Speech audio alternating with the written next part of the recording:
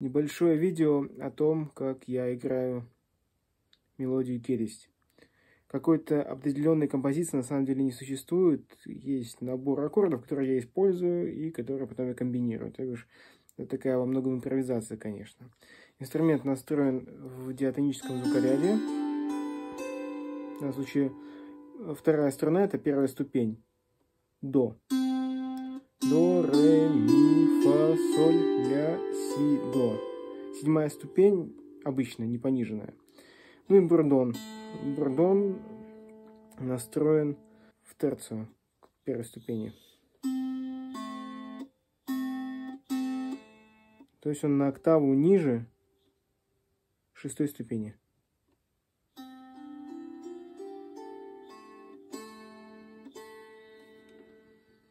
Первый аккорд будет выглядеть так. Мы пальцы левой руки ставим поверх струн. Ну, собственно, э, безымянный палец у нас стоит на второй ступени. Потом третья ступень свободная.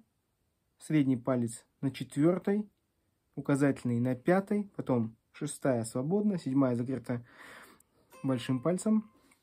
Вот, и восьмая ступень свободная. И играем мы от третьей ступени.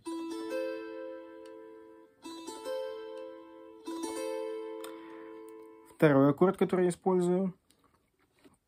Большой и указательный пальцы смещаются одновременно на одну позицию вверх. Соответственно, э, закрыты будут шестая и восьмая ступени, а пятая и седьмая открываются. Соответственно, также играем от третьей, от третьей ступени.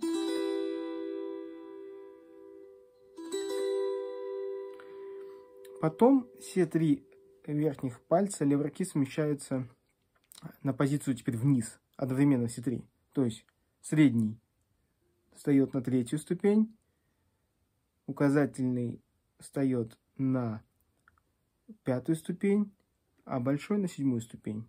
Соответственно, у нас звучат э, четвертая, шестая и восьмая. А потом возвращаемся в первый. одним движением. Движением э, среднего пальца. Просто на ступень. Э, на сторону выше. Да. Так получается.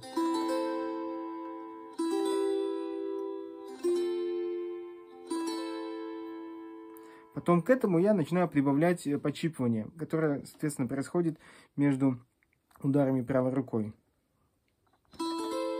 большой палец подщипнул, перехожу на второй аккорд, опять большой палец, перехожу на третий аккорд, указательный и в первый возвращаюсь. Или вот еще так можно сыграть. Первый, вот я, вот, можно, кстати, можно играть и по всем струнам. Ну, я вообще по-разному играю, под настроение, поэтому, хотя в большой записи я, кажется, начинаю только с верхних сторон. Да, в общем, можно сыграть все стороны одновременно. Вот, такой вариант. Потом большой, большой палец седьмую и шестую подщипывает. И все пальцы приходят во второй аккорд. Потом большой палец восьмую, третий аккорд. Тут указательный подщипывает пятую и все в первый аккорд возвращается.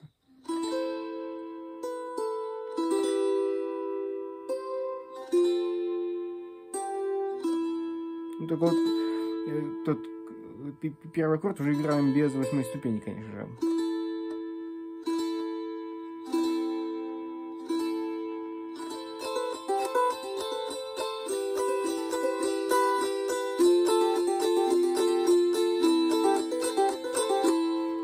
Уже играю с приборами левой руки. Соответственно, тут у нас э, работают в основном большой, указательный, средний.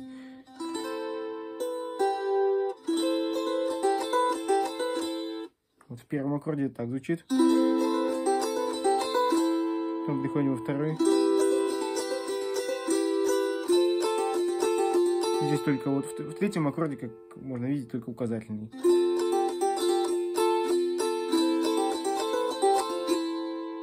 Тут сейчас безымянный сыграл, но звучит не очень. Э, в четвертом заключительном аккорде только большим указательным.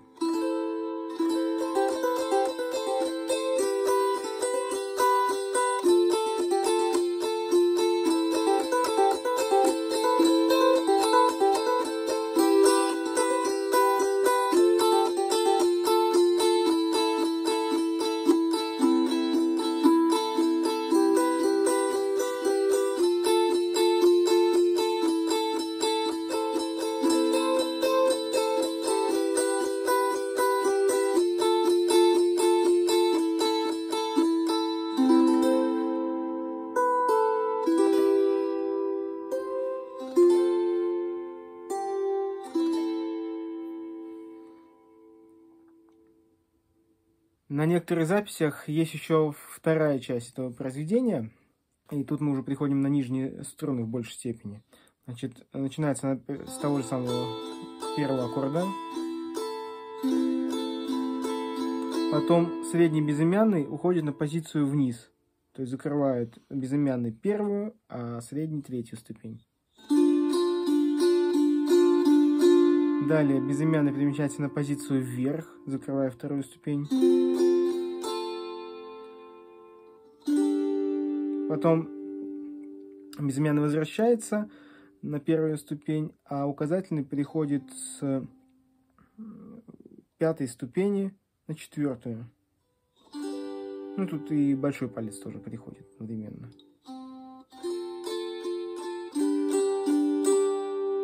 И потом все пальцы возвращаются в первый круг.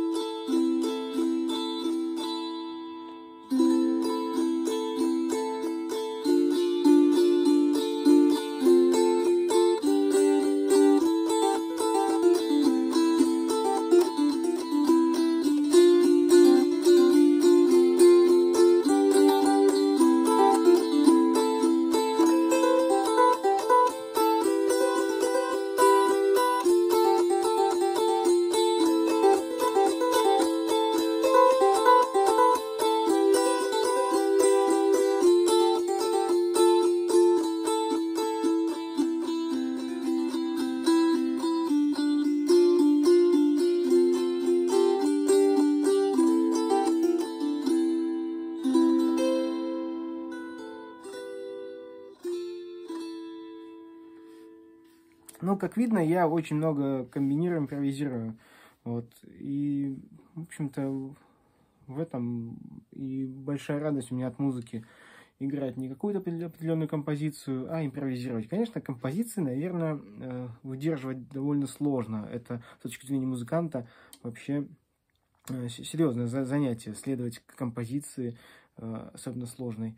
Вот. Но здесь можно составить композицию, она будет простой. Вот. И это на самом деле не будет не, не сложно. Но когда играешь импровизации и пытаешься как-то э, через эту музыку показать свои эмоции, то, конечно, импровизации имеет большее значение. Не знаю, если остались вопросы, их можно мне еще э, задать. Надеюсь, более-менее понятно объяснил. К сожалению, более подробно видео пока записать не могу так как не очень у меня много свободного времени. А чтобы записать хорошо, надо очень много заниматься монтажом. Поэтому так вот коротко. Не знаю, было ли видно струны. Свет, конечно, так падает, да и струны плохо видны, к сожалению, на этих гуслях. Такие дела.